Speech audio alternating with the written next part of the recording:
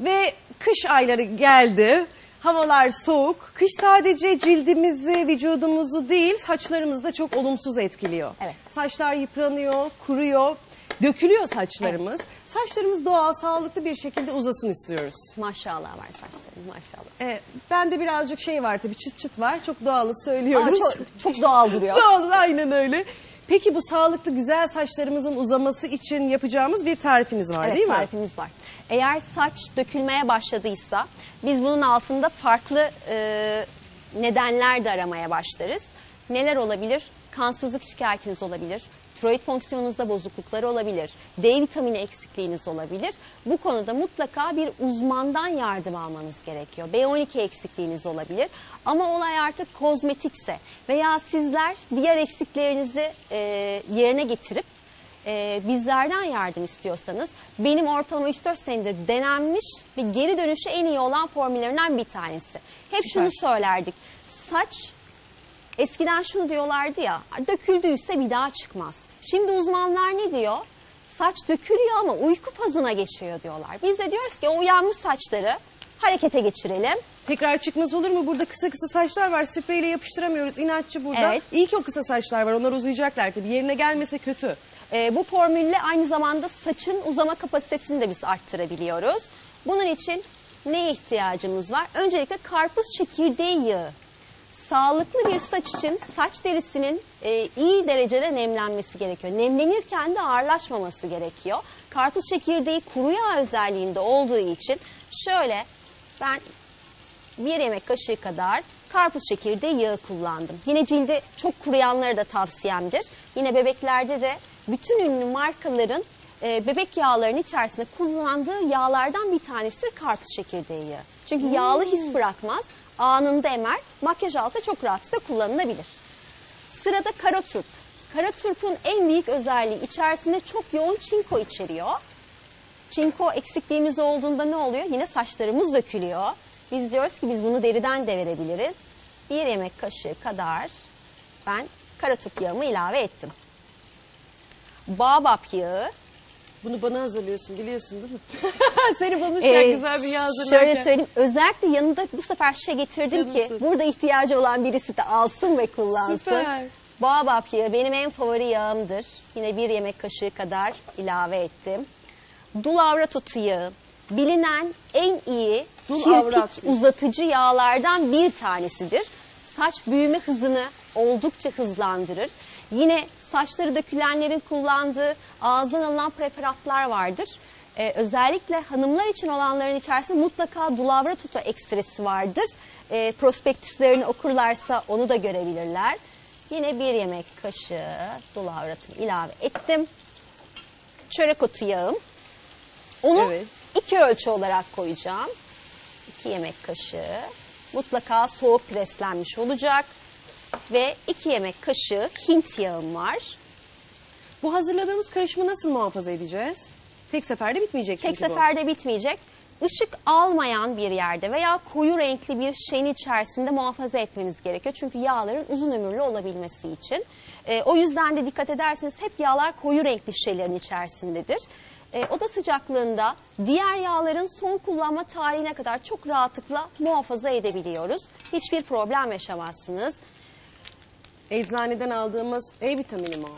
Bu E vitamini değil. Bu bizim sukolen dediğimiz köpek balığının karaciğerinin yağı.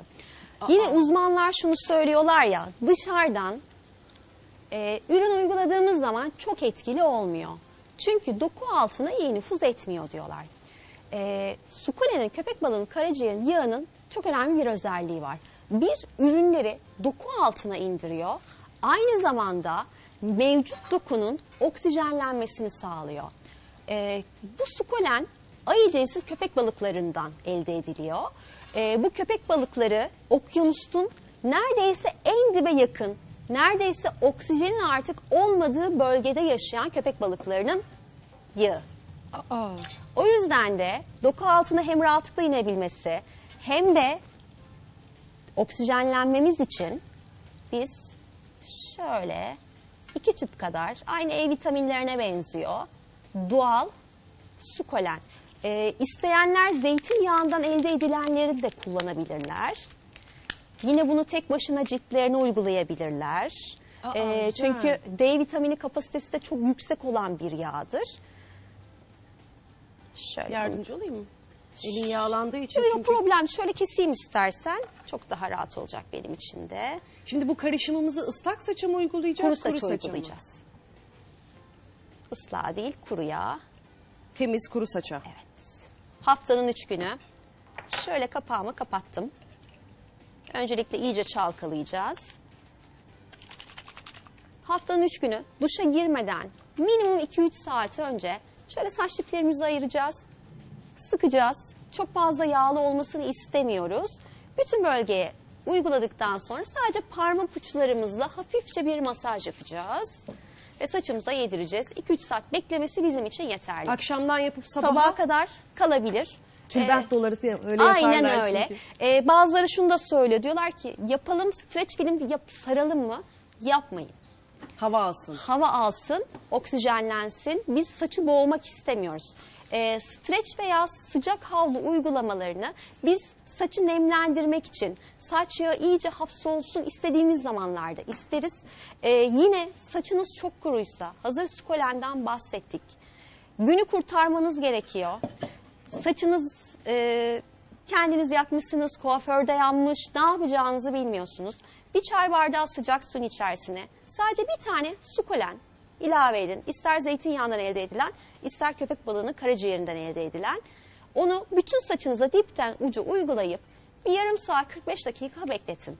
Ne o kırıklardan eser kalır, ne o e, kuruluktan eser kalır. Sikülen miydi yazayım Evet, ben onu sukolen unuttum. çok değerli. Yine son dönemde bu e, dermarollerler çok popüler oldu. Evet. Onlar için insanlar Yaptırıyorum ben de. e, onların serumları çok pahalı. Dermaroller ucuz da o serumlar pahalı. O dermarolleri yaptırırken cildinize sadece sukolen sürebilirsiniz. Sukoleni sürdükten sonra dermarolleri yapın. Şimdi dermarollerin mantığı nedir? Cilde aslında o iğneler batıyor ve biz o cilde hasar verip diyoruz ki Yapılandır. sen oraya git, gereğini yap ve oradaki hücre yıkımını durdurup hücreyi yenile. Ne dedik? Yoğun oksijen var içerisinde dedik. İyi bir hücre yenileyici dedik. O yüzden bizim sadece sukolene ihtiyacımız var. Güzel. Çok güzel bir karışım hazırladık. Evet. Onu karanlık bir yerde oda sıcaklığında muhafaza ediyoruz. Muhafaza ediyoruz. Ee, arzu edenler şöyle alüminyum folyoyla kapatabilir. Biz e, ekranda görülsün diye özellikle rengi de görülsün Evet. diye açık tercih ettim. Yine koyu renkli bir şişe olabilir ki en güvenlisi her zaman için odur. Bir camın içerisinde de olabilir. Ama haftanın 2-3 günü uygulama bizim için önemli. Bir de biz bu yağı nasıl çıkartacağız? Ee, bu yağı uyguladıktan sonra duşa girip hemen sıcak suyu altına girmeyeceğiz. Elimize şampuanımızı alacağız. Hafif suyla birlikte seyrelteceğiz. Önce bir şampuanımızı bir saç derimizi iyice bir yedireceğiz ve ılık suyla durulama yapacağız. Eğer sıcakla yaparsanız o yağı siz saçtan çıkartamazsınız. Bu sefer 3-4 şampuanlama yaparsınız. Hem e, emeklerimiz boşa gider hem de biz saçı e, gereksiz yere kurutmuş oluruz. O yüzden e, temizlemesi de çok önemli. Ilık suyla yapıyoruz ilk durulamayı. Peki bu uygulamayı yaptıktan sonra ne kadar zaman sonra o dökülen saçlar, yeni saçlar çıkmaya başlıyor? Faydasını ne zaman e, süre sonra görebiliyoruz? Ee, eğer kullanıcımız bir erkekse erkek tipi dökülmelerde hormonlar bizim için e, çok etkili oluyor. Onlarda mutlaka bir ek e, preparata ihtiyacımız olabiliyor. Evet. Ama bayanlarda ise dediğim gibi kansızlık, demir eksikliği, tiroid fonksiyonu bozukluğu yoksa sizin işiniz bittikten sonra o minik minik saçları siz görmeye başlarsınız. Harika.